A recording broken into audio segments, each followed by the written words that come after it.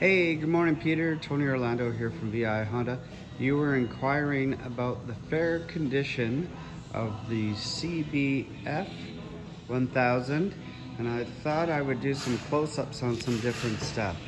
So as you come closer, I'm gonna focus in on the tank, and you'll see how there's a difference in the paint from this side here to this side here, and that's because it's been painted. So from a distance, you'll see it's definitely more difficult to see, but as you get closer, you can notice it. And then over here, what you'll notice is that there's some rust and corrosion there um, that's been painted over. Um, so it's been obvious that this bike has been kept outdoors.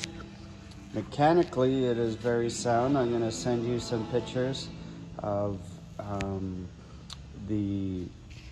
health check reports that we've done on this unit and also some of the, um, and you'll notice on the bar there are some different stuff.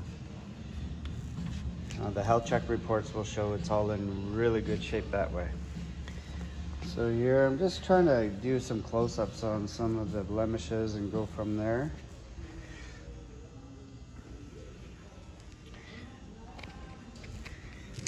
There we go. I hope this helps. And I hope to hear from you soon just to see on what you think. Cheers. Hope you have a good day.